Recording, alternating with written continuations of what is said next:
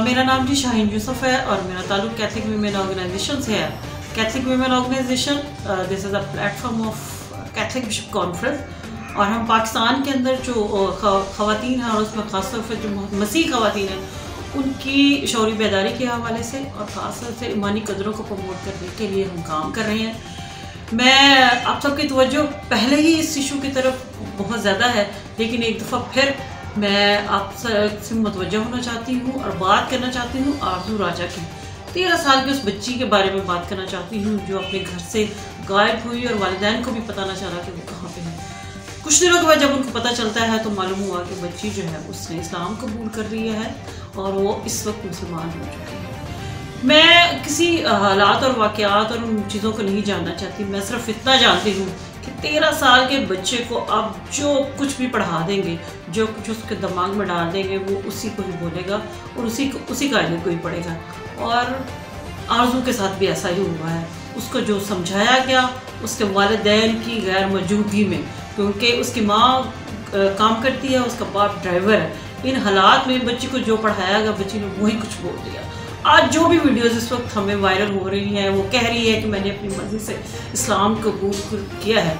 I agree I agree मैं इस बात को मानती हूँ कि वो कह रही है। लेकिन मैं इस बात की भी इस वक्त मजम्मत करती हूँ कि हमें इस बात को जहन में रखना चाहिए कि वो एक माइनर बच्ची है। वो एक कम उम्र बच्ची है जो इस वक्त निकाह कर चुकी हुई है, लेकिन ये तमाम हालात और वाक़ात उसकी मर्ज़ी से नहीं, उससे करवाए गए हैं और उसको समझाए गए हैं। आज उसको सच और झूठ में अच्छे और बुरे की तमीज़ जो है उसको याद नहीं, उसको जो कुछ समझाया जा रहा है, वो किया जा रहा है। आप वीडियो में देखें, उसने जेवर पहने हुए हैं। जो और जो इस बात की तरफ़ निशानदेही करते हैं तो उसको लालच दिया गया है, उसको वो ख्वाब दिखाए गए हैं जो हर बच्ची जो है देखती है।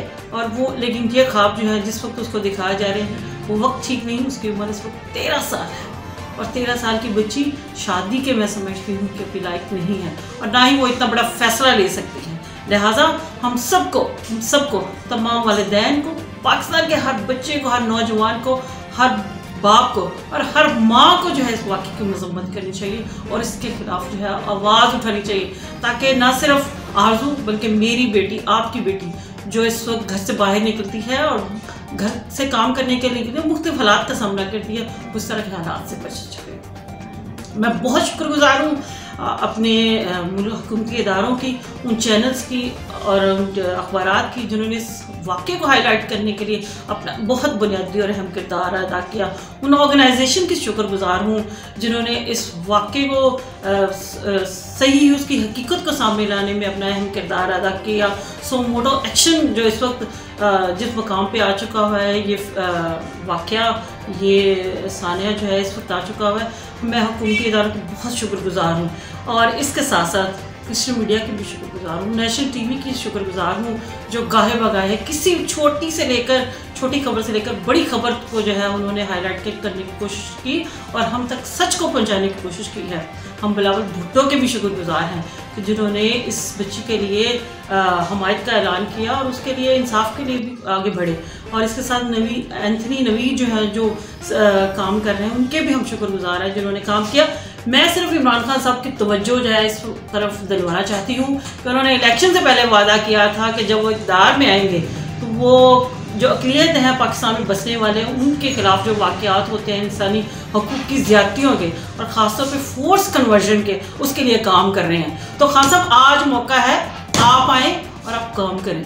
और आरज़ू के लिए नहीं बल्कि उन तमाम बहनों और बेटियों के लिए उनकी आवाज़ बने ताकि उनको इंसाफ मिल सके। और इस तरह के वाक़ात की रोकथाम के लिए आ, हमारा सहारा बने हमारा कंधा बने ताकि हमें आप पर और आपके जो बाकी आपके साथी हैं उन पर एतबार बढ़े आपका यकीन बढ़े।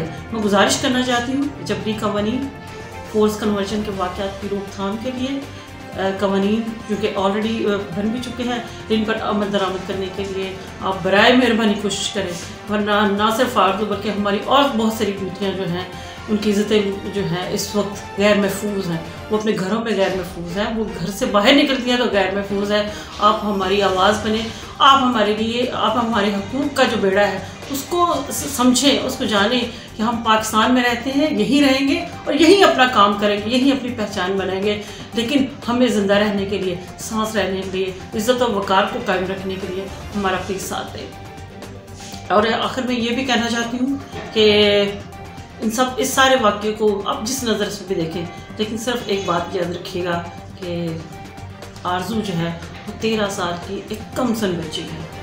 उसका जो दिमाग है उसका जो दिल है वो एक खाली सम, खाली बर्तन की तरह था जिसको भर दिया गया है। आए हम सब मिलकर ना सिर्फ़ आरज़ू को बल्कि अपने उन तमाम बच्चों को अपनी बेटियों को इस तरबियत के साथ ऐसे जेवर के साथ रास्ता करें ताकि वो जो है पूरे ईमान अपने ईमान में मज़बूत होते हुए अपनी ज़िंदगी को और अच्छे तरीके से गुजारें ताकि इस तरह के हालात और वाक़ जब उनका सामना करना पड़े तो मजबूती के साथ मसीही होते हुए अपने ईमान पर कायम रहें और इस तरह के हालात में कभी ना जाएँ। आप सबका बहुत शुक्रिया।